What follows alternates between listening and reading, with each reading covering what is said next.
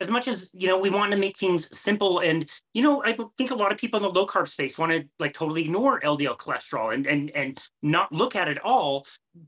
But but you can't throw the baby out with the bathwater. You have to consider everything like you said the whole kind of symphony of different markers. What are some of your other favorite markers to really show you what you need to know about metabolic health in somebody? Yeah i mean i, I really love fasting insulin levels and and a homa ir which uh, combines fasting insulin and glucose. I love triglycerides and HDL. Triglyceride to HDL ratio, I think, is really important. And I like advanced lipid markers, you know, looking at VLDL, looking at small LDL particles. Um, those are, they tell you so much more about the lipids than just the, the basic profile. And of course, I really like inflammatory markers, CRP and LPPLA2, which is like a marker kind of specific for lipid inflammation um, I think those all really help round out the picture so much better. And then, and now the use of CGMs, I think, is really a game changer for metabolic health. Which you know, CGMs have come under fire by some for if you're using them in people without type two diabetes, which I just don't quite understand because you can Why? learn so much from a CGM. You can learn so much.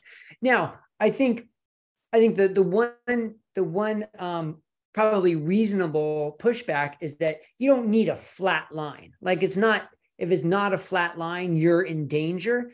So if you go that far, okay, that's one thing. But that that's not what most people are saying. Most people are saying you want to know when you're having big rises and how long it's your glucose is staying up. You want to know how your body's reacting to the things you eat, the things you do. If you get a bad night's sleep, if you drink too much alcohol, you want to know how your body and your blood sugar is reacting to that. I think it's such a great learning tool that we should be using more of for that reason that's a shame that people are dissuading people from using them. I haven't heard that actually. I, I, think that's one of the very best tools that people can use because it will self-correct. You don't even have to know anything about nutrition. You'll just know how you feel and be able to look at this monitor and you'll make better decisions on your own. So that's yeah. a little disappointing. Um, I do love that you mentioned HDL to triglyceride. I, I kind of feel like that would tell me, I don't know, like 80% of what I would want to know about somebody's metabolic health. Would you say that's a fair statement? Yeah, I think that is a great um, a great point. And so, you know, the advanced lipid tests I like, and the advanced sort of insulin resistance test I like. If you can't get those, the triglyceride HDL ratio is a pretty good surrogate for those. They they tend to go hand in hand frequently. Um, I, I, like data, so I, I, prefer more data if you can get it. But if you can't, that triglyceride to HDL ratio is is really good. You know, anything less than 1.5 tends to be really good. Anything less than one is outstanding. But um, yeah, yeah, it's a good one yeah. to use. I, I appreciate that opinion. Okay, so we've had a bit of a phenomenon in the low carbohydrate space, and we're getting to this point where we've been looking at this for a while now, and we can conduct studies. So, one thing that tends to happen with a certain subset of people when they start a ketogenic diet is they feel amazing. They generally will lose weight, they will generally lose fat, their brain energy will improve. Um, we're going to talk a lot about the brain here later on and, and all of those things are great. We see that triglycerides drop out, the fat that's traveling around the blood. There's less of it. That's great. Blood glucose typically lower. That's great. Uh, HDL cholesterol, that's really great too. That starts to rise. That's that, that's awesome. But we see that the LDL cholesterol can go high for certain people, like definitely above where a doctor would want it. And with some people, it can go extremely high.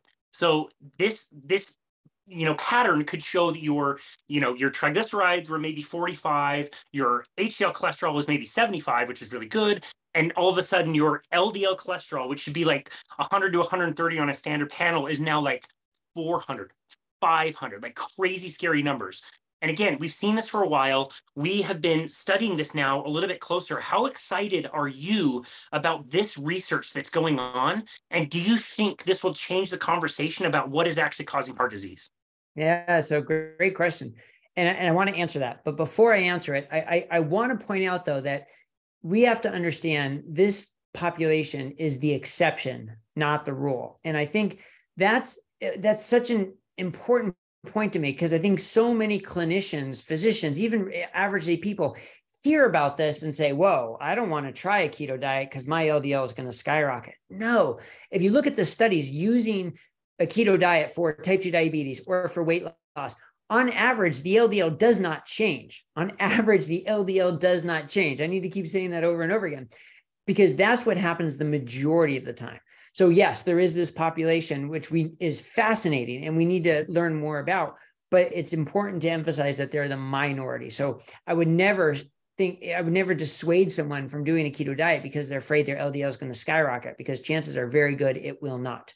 Now, fair point. Fair point. Thank you. Yeah. But but it's such an amazing um, subset of people and such an incredible physiologic change that is like really putting sort of lipidology upside down on his head. And that's why it's getting so much attention, rightly so. But we have to understand, you know, the chances of it happening if you start a keto diet are, are much higher in a small subset of people and not the general population. But all right, I've went on enough about that. So now am I excited about these studies? Absolutely. I mean, look, from a from a cardiologist standpoint and a doctor standpoint, I get it. These numbers are terrifying it, from an LDL standpoint because the only time anybody has seen these numbers before is with homozygous familial hypercholesterolemia or the most severe cases of heterozygous familial hypercholesterolemia. So, quick definition familial hypercholesterolemia is a genetic disorder that you're basically born with where some part of your LDL clearing system is is dysfunctional. So whether it's the LDL receptor, it's the ApoB receptor, or there's something on the LDL particle or the LDL receptor that is that is not functioning well. So the LDL just accumulates in your body. The particles accumulate in your body. And if you have homozygous, that's where both alleles of your genes, all your genes have two alleles. That's where both of them have a mutation. And if you have heterozygous, one is a mutation. So if you have homozygous FH and you have LDLs of the 500s plus, it is a devastating condition where people are getting heart attacks at young ages and dying at young ages.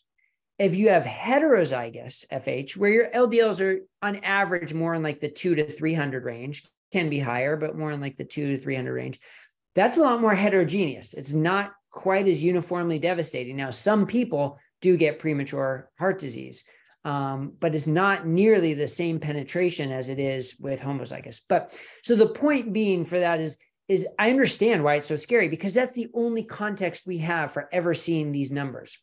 Now it's a whole different context. Wait, there's no there's no FH. You know, you do genetic tests on these people. They don't have the genes for FH. They usually don't even have the polygenic risk scores, meaning when you combine a whole bunch of different genes, they don't even have those polygenic risk scores and they're incredibly otherwise healthy, usually metabolically healthy. Like you were saying about the triglycerides, HDL, usually their glucose, their insulin, they're thin, they're lean, they're active. Like nothing fits that this person is in trouble except for that one number. So I, I get why why it's so so nerve wracking for so many clinicians and individuals not knowing uh, what to do, and that's why I think the research is just amazing and fascinating. That Dave Feldman, one of the premier citizen scientists in the in the world, paired up with one of the premier cardiovascular researchers in the world, Dr. Matthew Budoff, and they're doing this study, which they they presented the preliminary data at Denver, which you know small sample size, preliminary, but boy, is it not what anybody really expected. I mean, these people had average LDLs of like 250, and they'd been in keto for more than four years, and you'd expect some plaque, especially since the average age was like 50 something. You'd expect quite a bit of plaque um, if this was such a dangerous condition. And there was much less than anybody would have expected. Now, preliminary, not published. They're going to publish it, of course. They're going to compare it with a with a control set, and th- all this is going to be fascinating. I mean, and then plus they have the one year trial where they're going to do the CT angiograms at the end of the year. So at a minimum, at a minimum, this is going to help thousands of people better understand what's going on with their bodies. At a maximum, it is going to change everything that we think about LDL and cardiovascular risk. I mean, it's maybe it'll be somewhere in the middle there, but it's got that potential to do that because if people are walking around with LDL levels at FH levels, at levels that just scare us beyond belief, and nothing's happening in terms of heart attacks and dying, like if that doesn't force us to sort of change or refocus or revisit our hypotheses and our and our and our biases and our understanding of what's going on, then I don't know what does. So it's it's really got a lot of potential to to shake things up. And you know, it's going to get a lot of pushback, no question. Anytime something is trying to change a paradigm or question a paradigm, it gets pushback, no question about it. But but that's what science is, right? Science is asking the question. Science is not assuming things. Science is testing your hypotheses. And that's what they're doing. And I'm very thankful that they are. And I can't wait to see it unfold.